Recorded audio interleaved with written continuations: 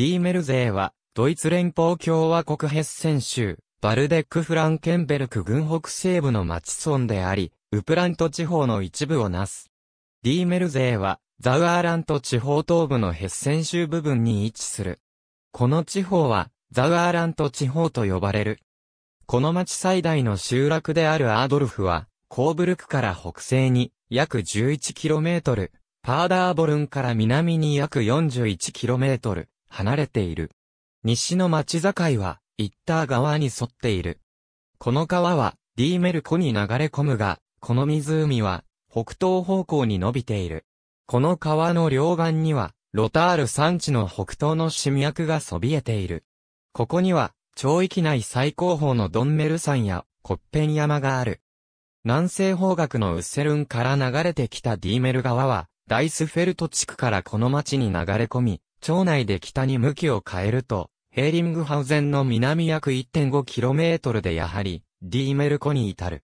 この湖は、町で最大の水域を形成しているのだが、そのダムは、ノルトラインベストファーレン州のマルスベルク市内にある。この他のまとまった水域としては、シュバインスビュール地区近郊の町内南部に湧出する、レーネ川を挙げることができる。この川は、町域を主に北に向かって流れている。この川は、アードルフを過ぎて、北に数キロメートルの地点から町域を離れ、その後すぐにディーメル川に合流する。レーネ川の谷は、海抜327メートルで、この町の最低地点である。コーブルク方面では、町域は、バルデッカー大地に移行する。また、北東部は、ローテラント地方の南部に属す。終局した、古生代の走行は概ね南西、北東方向である。町内の北部では、ところどころで、気力岩層が古生代の年番岩層を貫いているのが見える。レーネッゲ地区の近郊では1961年にも、まだ気力岩が採掘されていた。アードルフ周辺地区では、赤鉄交渉を伴うアイゼンベルク・クバルツィットがある。アードルフの北のマルテンベルク付近では、鉄鉱石が露天掘りで採掘されていた。この地区の南は、石炭基前期の石灰岩層につながっている。また、アードルフ付近では、デボン期後期以降の様々な種類の化石も見られる。アードルフ地区の街並みこの街は、西のボントキルヒエンから東のバート・アーロルゼンまで、ノルトベストファーレン州の州境沿いに、東西 20km 以上にわたって広がっている。南北は、マルスベルクに接するバウタースベルクを北、ベーミヒハウゼン近郊のバーベルベルクを南として、11km 以上ある。ヘッセン州統計局によると、町域面積121.70平方キロメートル中73.152が農業に利用され、35.392を森林が占める。交通用地は6.292、住宅地、商工業用地及び空き地が3.592である。水域は2.132である。ディーメルゼーの町は、西は、ビリロン、北は、マルスベルク、北東は、バート・アーロルゼン、東は、ツビステタール、南は、コルバッハ、南西は、ビリンゲンと境を接する。ブリロンボントキルヒエンに接するシュトルムブルーフ地区の境界部分の土地は、2009年11月にノルトベストファーレン州に譲渡された。ディーメルゼーの町は、ヘッセン州の地域再編に伴って1972年1月1日に、以下の13地区が自由意志によって合併して成立した。町の行政機能はアードルフ地区にある。この地区は、町で最大の集落でもある。ディーメルゼの町議会は、31議席からなる。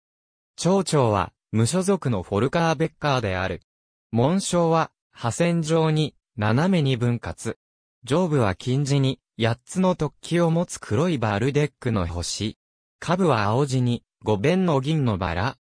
バラは、金の芯と緑の葉をつけている。配色は、パートベルク家の紋章から取られた。バラは、パートベルク家の傍流にあたるアードルフ家の紋章に由来する。ディーメルコ・ディーメルゼーに近い有名なハイキング地は、ディーメルコとウプラントである。アードルフ地区には観光鉱山、クリスティアーネ湖がある。自然が好きな人や地質学愛好家には、アードルフのマルテンベルクにあるクリッペイの象形がおすすめである。フレヒトドルフ修道院の一部である二つのロマネスク様式の塔を持つ教会は、フレヒトドルフ地区にある。ここでは、アードルフ、ヘーリングハウゼン、シュバイビュールにある宗教文化財を有する防衛協会と共に、旧修道院の保護と利用に努める、フレヒトドルフ修道院保護協会がある。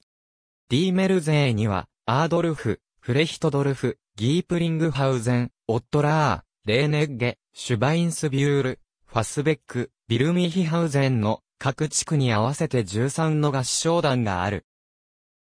さらに、ベンクハウゼン、アードルフ、フレヒトドルフ、オットラー、レーネッゲ、ズーデック、ビルミヒハウゼンには、手回しオルガンのサークルからパレードの楽隊まで7つの音楽サークルがある。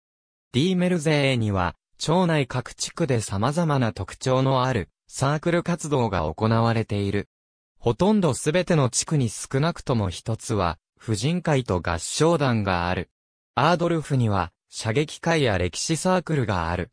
ディーメルゼー自然公園は、西は、ホペッケタールから、東は、レーネに至る宗教の両側に広がっている。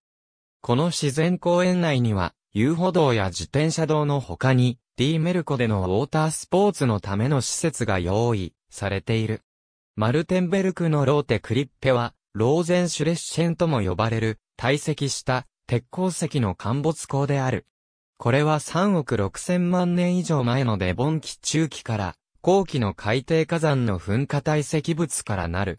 ローテクリッペは、バルデック・フランケンベルク郡の自然文化財として保護されている。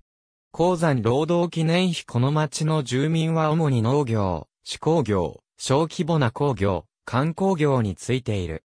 フレヒトドルフには1960年から農業機械の製造業者であるワイドメン社がある。アードルフはコルバッハ方面、マルスベルクブレーデラー方面、バート・アーロルゼン方面から修道が通っている。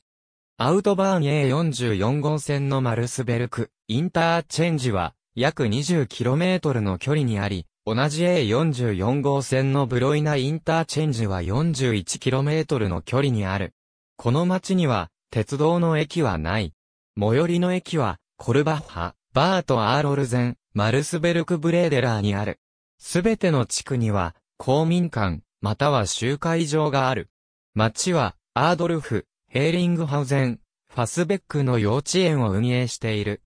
アードルフ地区には、基礎家庭学校、本家庭学校、実家学校を含むミッテルプンクトシューレがある。ギムナジウムや専門学校は、バート・アーロルゼン、コルバッハ、ビリンゲンにある。コルバッハバート・アーロルゼン職業学校は、職業教育の仕上げを行う学校である。ありがとうございます。